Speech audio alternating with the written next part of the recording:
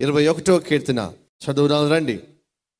యహోవా రాజు నీ బలమును బట్టి సంతోషించుచున్నాడు. నీ రక్షణను బట్టి అతడు ఎంతో హర్షించుచున్నాడు. రక్షణ అనే మాటకు అర్థం డిఫరెంట్ డిఫరెంట్ ఇంగ్లీష్ వెర్స్ వెర్షన్స్లో రాయబడింది ఏమిటంటే విక్టరీ. ఏమిటది? విజయము. రాజు నీవు అనుగ్రహించిన విజయమును బట్టి బహుగా సంతోషిస్తున్నాడు బహుగా ఆనందిస్తున్నాడు. నీ బలమును బట్టి సంతోషిస్తున్నాడు.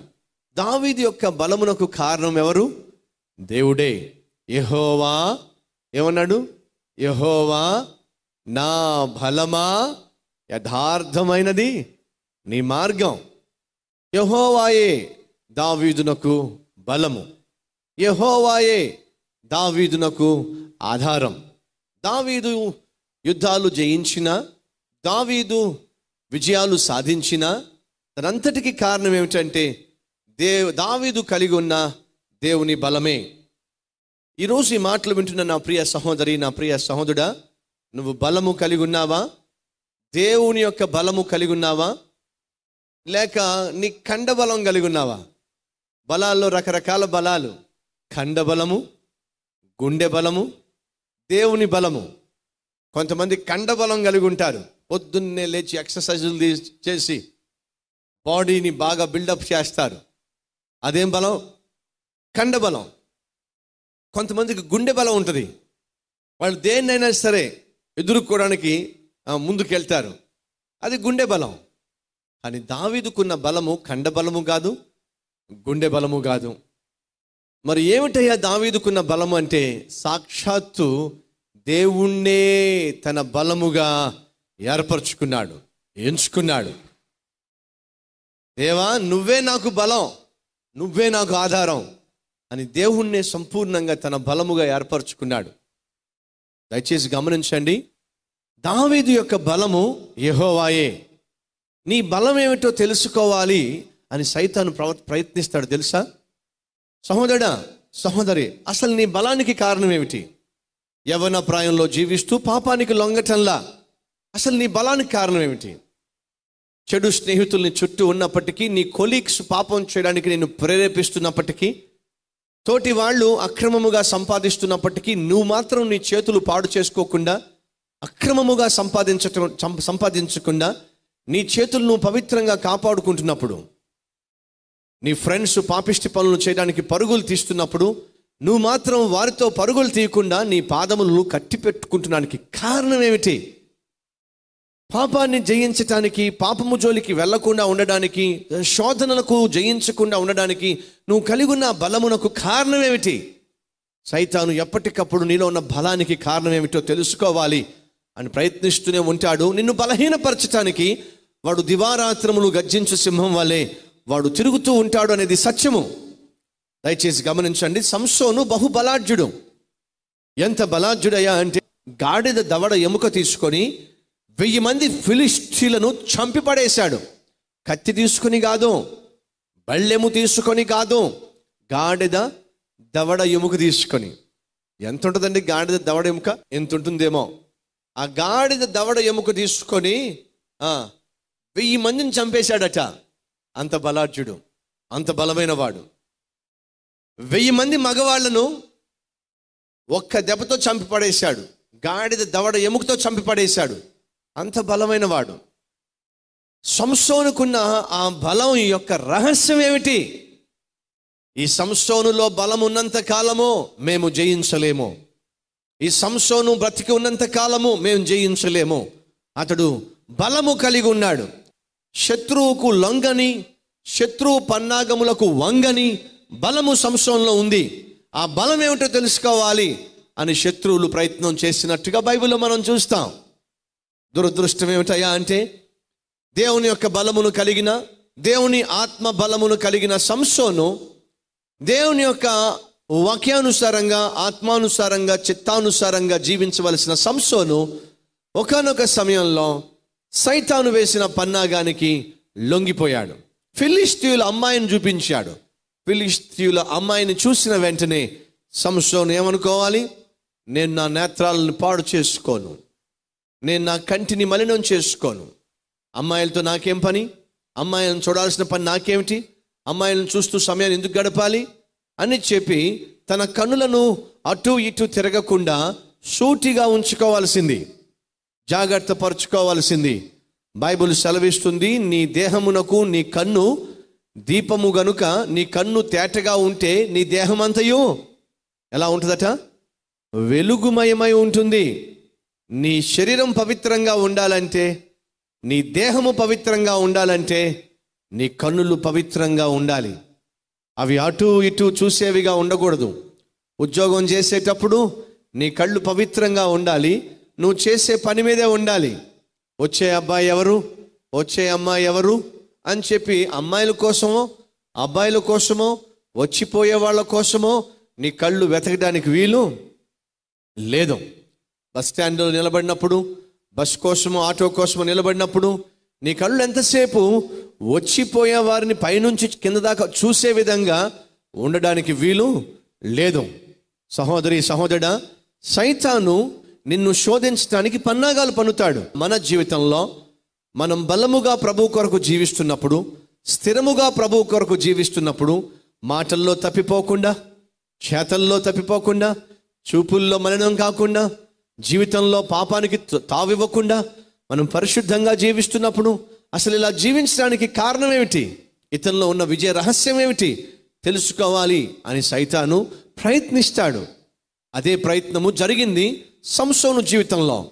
అలా సంసోను జీవితంలో తాను అంత బలంగా ఉండడానికి కారణం ఏమిటో తెలుసుకోవడానికి కొంతమంది సర్దారులు ప్రయత్నం చేశారు. ఒక స్త్రీని అందుకోసం ఏర్పాటు చేశారు. అలా స్త్రీని వ్యాప ఏర్పాటు చేసినప్పుడు సంసోను దేవుని యొక్క చేతుల్లో ఉండవలసిన వాడు దేవుని యొక్క చిత్తములో ఉండవలసిన వాడు దేవుని యొక్క సరిహద్దుల్లో ఉండవలసిన వాడు శోధనకు లొంగిపోయాడు గనుక. శోధనకు వంగిపోయాడు గనుక శత్రు యొక్క సరిహద్దుల్లోకి వెళ్ళిపోయాడు. పాపిష్టి వేష్య దగ్గరకు వెళ్ళిపోయాడు. సహోదరులో ఆత్మీయుడుగా నీవు పరస్త్రీ దగ్గరకు వెళ్ళడానికి వీల్లేదు. నీకంటూ వివాహం అయినట్లయితే నీ భార్య నీ జీవితానికి తోడుగా ఉండాలి తప్ప నీ భార్యతోనే నువ్వు సాంగత్యము కలిగి ఉండాలి తప్ప పరస్త్రీతో సాంగత్యము కలిగి ఉండడానికి వీల్లేదు. వివాహం కాక మునుపు ఏ సహోదరుడు కానీ ఏ సహోదరి కానీ వివాహము కాక మునుపు తమ శరీరాలు మలినం చేసుకోవడానికి తమ శరీరాలు పాడు చేసుకోవడానికి వీల్లేదు. జారులైనను వ్యభిచారులైనను పరలోకానికి వెళ్ళని వెళ్ళరు వివాహం కాక మునుపు శరీరాన్ని పాడు చేసుకునేవారు వివాహం అయిన తర్వాత అక్రమమైన జీవితాన్ని జీవించేవారు పరలోకానికి వెళ్ళరు అనే సత్యము మర్చిపోవద్దని ప్రభువు పేరట మనవి చేస్తున్నా. సంసోను అదే చేశాడు. తాను దేవుని బిడ్డని తెలిసి కూడా దేవుని కొరకు జీవించాలని తెలిసి కూడా తన శరీరాన్ని జీవితాన్ని పవిత్రంగా కాపాడుకోవాలి అని తెలిసి కూడా వెళ్ళకూడని చోటికి వెళ్ళాడు. వెళ్ళకూడని స్త్రీ దగ్గరకు వెళ్ళాడు. ఓ దగ్గరకు వెళ్ళాడు. ఈరోజు ఈ మాటలు వింటున్న నా ప్రియ సహోదరుడా ఆదివారం దేవుని సంధికి వచ్చి వాక్యం వింటున్నావు కదా? టీవీలో వాక్యం వింటున్నావు కదా?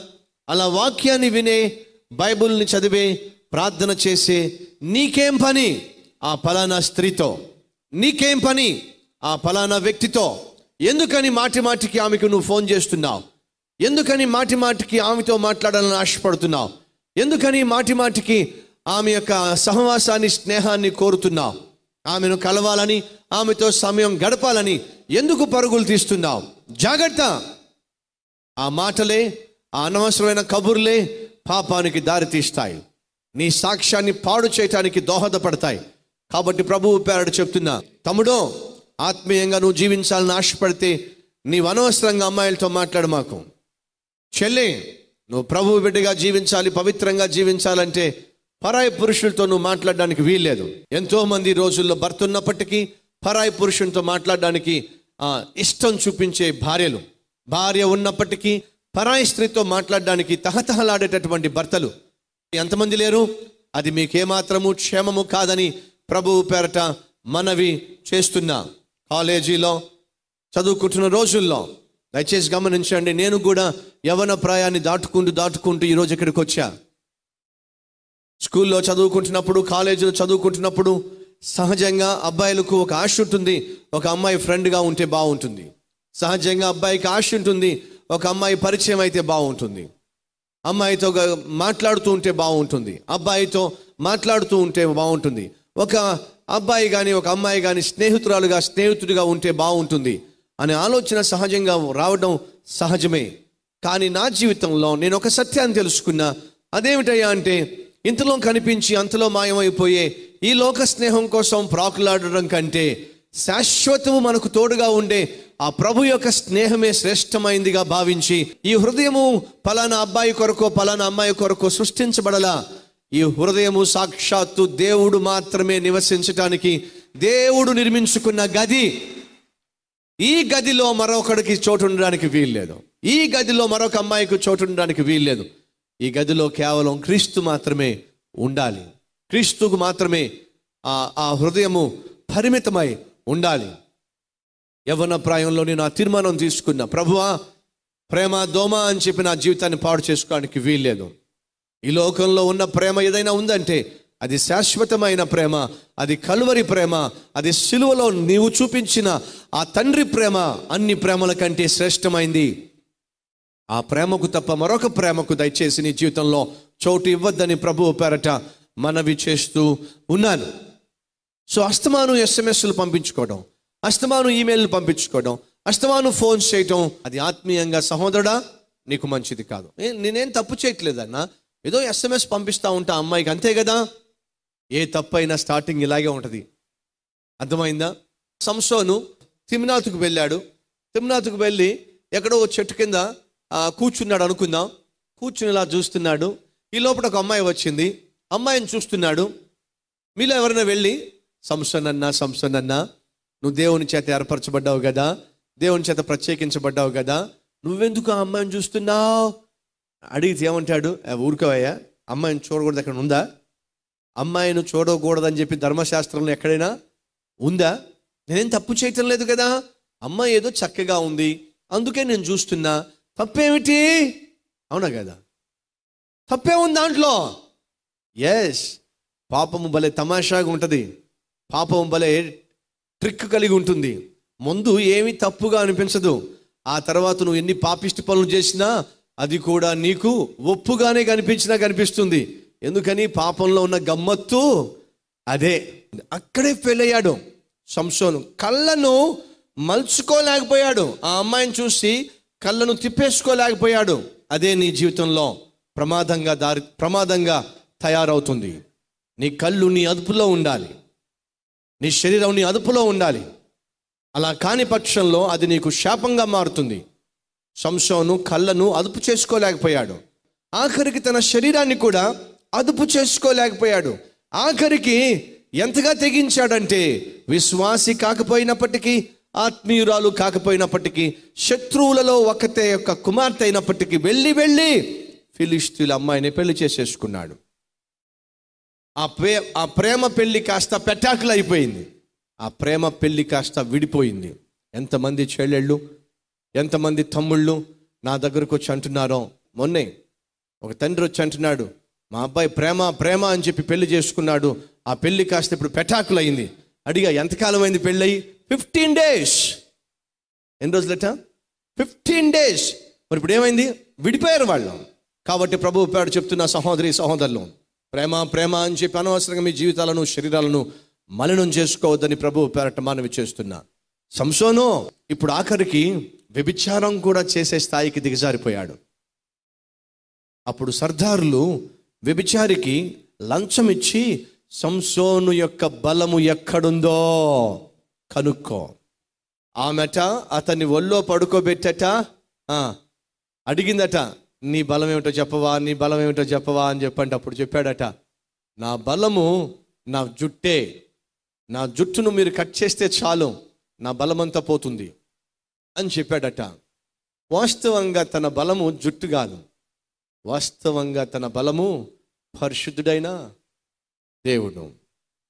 చూద్దాం రండి. న్యాయాధిపతులు పంతొమ్మిదవ వచనము పదహారో అధ్యాయము. ఆమె తన తొడ మీద అతని నిద్రపుచ్చి ఒక మనుష్యుని పిలిపించి వాని చేత అతని తల మీద ఏడు జడల క్షౌరము చేయించి అతనిని బాధించుటకు మొదలుపెట్టెను అప్పుడు అతనిలో నుండి బలము తొలగిపోయెను. ఆమె సంసోను ఫిలిస్తీలు నీ మీద పడుచున్నారని అనగా అతడు నిద్ర మేలుకొని ఎప్పటి అట్లు నేను బయలుదేరి విడజిమ్ము కొందును అనుకొనెను. అయితే యహోవా తనను ఎడబాసెనని అతనికి తెలియలేదు. తన బలము తన శౌర్యము తన శక్తి తనను విడిచిపోయను అని అతనికి తెలియలా. శత్రువు ఎప్పుడూ తెలుసుకోవాలి అని ఆశపడినాడు తెలుసా? ఆత్మీయంగా బలముగా స్థిరముగా నిబ్బరముగా పరిశుద్ధముగా జీవించేటప్పుడు శత్రువు నీ మీద ఒక కన్ను వేసి ఉంచుతాడు. ఈ బలమునకు కారణం ఏమిటి ఈ పరిశుద్ధతకు కారణం ఏమిటి నీ పరిశుద్ధతకు ప్రార్థనా జీవితమే కారణమైతే నీ ఆత్మీయ బలమునకు వాక్యమే కారణమైతే సైతాన్ ఏం చేస్తాడో తెలుసా? నిన్ను ప్రార్థించకుండా చేస్తాడు. వాక్యాన్ని ధ్యానించకుండా చేస్తాడు. అందుకే మనలో చాలామంది ఈరోజు ఆత్మీయంగా బలంగా లేరు ఆత్మీయంగా స్థిరంగా లేరు. ఎందుకని? ప్రార్థన చేసే మనస్సును వాక్యాన్ని ధ్యానించే మనస్సును సైతాను దోచుకున్నాడు కాబట్టి. సహోదరిలో సహోదరులో ప్రభువుకి ఇష్టము కాని పనులు మనం చేస్తే ప్రభు మనల్ని విడిచిపెట్టేస్తాడు. ప్రభువుకి ఇష్టం లేని చోట్లకు మనం వెళ్తే ప్రభు మనల్ని విడిచిపెట్టేస్తాడు. ప్రభు మన ప్రభువుకి ఇష్టం లేని వాటిని మనం చూడడానికి ప్రయత్నం చేస్తే ప్రభు మనల్ని విడిచిపెట్టేస్తాడు. ప్రభువుకి ఇష్టం లేని విధముగా మన శరీరాన్ని పాడు చేసుకుంటే ప్రభు మనల్ని విడిచిపెట్టేస్తాడు. ఈ దేహము దేవుని ఆలయం అని గుర్తించకుండా ఈ దేహాన్ని పాపము చేతను మలినం చేసుకుంటే ప్రభు నిన్ను విడిచిపెట్టేస్తాడు. ఏమవుతుంది ప్రభు విడిచిపెడితే? నీ బ్రతుకు బజారును పడుతుంది. నీ బ్రతుకు బలహీనమైపోతుంది. సంసోన్ను ఎటువంటి వాడు తెలుసా? సంసోను అనే పేరు వింటే చాలు. ఫిలిస్తీయులు గడగడలాడిపోయేవాళ్ళు. ఫిలిస్తీయులు వణికిపోయేవారు. సంసోను వస్తున్నాడా? అనేవాళ్ళు. అటువంటి భయం సంసోన్ అంటే భయపడిపోయేవాళ్ళు. అంత భయపడే వాళ్ళు ఆఖరికి ఏం చేశారో తెలుసా? సంసోన్ని వారి చేతుల్లోకి తీసేసుకున్నారు. సంసోన్నే బంధించి పడేశారు. సంసోన్ని ఒక అమ్మాయి ఆ ఎరగా వేసి సంసోన్ని లోపర్ చేసుకున్నారు. దయచేసి గమనించండి సహోదరి సహోదరులు. సైతాను నీకు నాకు భయపడాలి కానీ సై సైతానుకు మనం భయపడడానికి వీల్లేదు. సైతాను నీ పేరు చెప్తే భయపడాలి. జ్ఞాపకం ఉందా? ఒకనొక ప్రాంతంలో కొంతమంది కుర్రవాళ్ళంట పౌలును చూశారట. పౌలు ఏసు నామములో నిన్ను బంధిస్తున్నా పో! అని చెప్పి సైతాన్తో అంతే దెయ్యాలు విడిచిపెట్టి పారిపోయేవట. అంతేనా? ఏసునామంలో పో అంటే దెయ్యాలు పోతాయా? ఓ సింతేనా? అని చెప్పి దెయ్యం పట్టిన ఒక వ్యక్తి వ్యక్తి దగ్గరికి వెళ్ళి కుర్రవాళ్ళు వెళ్ళి ఏ సునామములో నిన్ను పొమ్మంటున్నాం పో! అనేసరికి ఆ దెయ్యం పట్టిన వాడు కాస్త ఒక్కసారిగా వారి మీద పడి వాళ్ళ బట్టలను చింపేశాడంట. అప్పుడు వాళ్ళని పట్టుకుని అంటారు ఏసు ఎవరో నాకు మాకు తెలుసు. పౌలు ఎవరో మాకు తెలుసు. కానీ నువ్వెవడవరా అని చెప్పి మెదబండి అట. అర్థమేమిటి? సైతానుకు సైతాను యొక్క దూతలకు యేసు ఎవరో బాగా తెలుసు. ఆ యేసును సేవించే పౌలు గురించి కూడా బాగా తెలుసు. ఎందుకని? పౌలు అంతగా దేవుణ్ణి సేవించాడు. అంతగా పౌలు అంటే సైతానుకు సైతాన్ యొక్క దూతలకు భయం. నువ్వంటే భయపడే విధంగా ఉండాలి సైతాను. నువ్వంటే వనకాలి సైతాన్. అంతేగాని సైతానుకు మనం వనకడానికి వీలు లేదు. సంసోను చూసి ఫిలిస్టీలు వణికారు. అది దేవుడు కోరుకున్న జీవితం. కానీ ఎప్పుడైతే పాపానికి చోటిచ్చాడో ఎప్పుడైతే పాపానికి లొంగిపోయాడో ఎప్పుడైతే శరీర ఇచ్చలకు శరీర కోరికలకు తన శరీరాన్ని అప్పగించేసుకున్నాడో ఎప్పుడైతే తన చూపులు అపవిత్రమవుతున్నప్పుడు వాటిని జాగ్రత్త పరుచుకోలేదో ఎప్పుడైతే కోరికలు తనను లోపరుచుకుంటున్నప్పుడు తను తాను ప్రభువుకు అంకితం చేసుకోలేదో దాని ప్రతిఫలం ఏమిటో తెలుసా? ఆ కళ్ళనే వాళ్ళు పొడిచి పడేశారట అండి. చూడండి ఉందో ఇరవయో వచ్చినము అయితే ఏహోవా తనను ఎడబాసినని అతనికి తెలియలేదు. అప్పుడు ఫిలిస్తీలో అతనిని పట్టుకొని అతని కన్నులను ఊడపీకి కన్నులు పొడిచి పడేశారు. కన్నులను పొడిచి పడేశారు. ఏ కన్నులు పోగొట్టుకున్నాడో? ఏ కన్నులతో అయితే అమ్మాయిలను చూడడానికి ప్రాకులాడాడో? ఏ కన్నులకైతే చూపులకైతే లొంగిపోయి తన శరీరాన్ని పాడు చేసుకున్నాడో?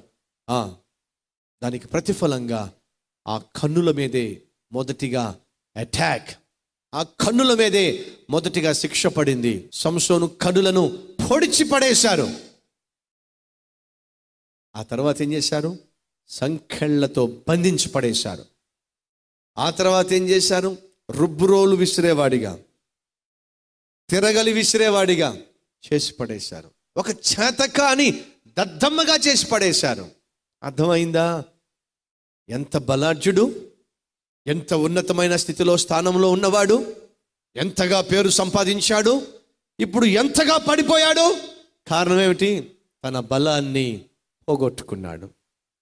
యహోవా నీ బలమును బట్టి రాజు సంతోషిస్తున్నాడు. నీవు అనుగ్రహించిన విజయమును బట్టి రాజు హర్షిస్తున్నాడు. దావీదుకు తెలుసు తన బలము దేవుడే అని చెప్పి. కాబట్టి దేవుని బట్టి దేవునిని బట్టి రాజు హర్షిస్తున్నాడు. దేవుని బలమును బట్టి రాజు అయిన దావీదు సంతోషిస్తున్నాడు. సహోదరి సహోదరులు నువ్వు నేను సంతోషించాల్సింది యెహోవా నువ్వు నేను అతిశయించాల్సింది ఆయన ఎందే డబ్బును బట్టో అంద చందాలను బట్టో పేరు ప్రఖ్యాతలను బట్టో నీకున్న సిరిని బట్టో బ్యాంక్ బ్యాలెన్స్ను బట్టో కొనుక్కున్న స్థలములను బట్టో అతిశయించటానికి వీలు లేదు. అతిశయ కారణం ఏదైనా ఉన్నది అంటే అది కేవలము దేవుడు మాత్రమే అనే సత్యము మర్చిపోవద్దు. పరిశుద్ధుడైన తండ్రి ప్రతి ఒక్కరితో మీరు మాట్లాడారు. మా కళ్ళను ఎందుకని ఎలా పవిత్రంగా కాపాడుకోవాలో తెలియచేశారు. యవన ప్రాయంలో కళ్ళను పాడు చేసుకుంటే అది ఏ రీతిగా ఒంటిని పాడు చేస్తుందో సంసోను జీవితం ద్వారా నేర్పించారు. నాయన దావీదుకున్న బలము నీవే. నీ బలమును బట్టి దావీదు సంతోషిస్తున్నాడు. సంసోను కూడా బలము నీవే కానీ ఆ బలాన్ని పోగొట్టుకున్నాడు. నీకు దూరమైపోయాడు. తను చేస్తున్న పాపిష్టి క్రియలను బట్టి ఆఖరికి నువ్వు అతన్ని విడిచిపెట్టేశావు. నాయనా ఈరోజు మా ఆత్మీయ జీవితానికి మా ప్రాణాలకు ఆధారం నీవే. నిన్నే మేము పోగొట్టుకుంటే నువ్వు మమ్మల్ని విడిచిపెడితే మా జీవితాలు భ్రష్టమైపోతాయి. దౌర్భాగ్య స్థితికి చేరిపోతాయి. కాబట్టి ఈరోజు చాలామంది నీ వాక్యం విని నిన్ను పోగొట్టుకోకూడదని గ్రహించి వారిలో ఉన్న పాపాన్ని ఈరోజు క్షమాపణ కోరి విడిచిపెడుతున్నారు. ప్రతి ఒక్కరిని ఆత్మీయంగా బలముతో నింపండి. పాపమును జయించే శక్తితో నింపండి. కళ్ళను ఒళ్ళును జాగ్రత్తగా కాపాడుకునే కృపనివ్వండి. యేసునామంలో వేడుకుంటున్నాం తండ్రి. ఆమెన్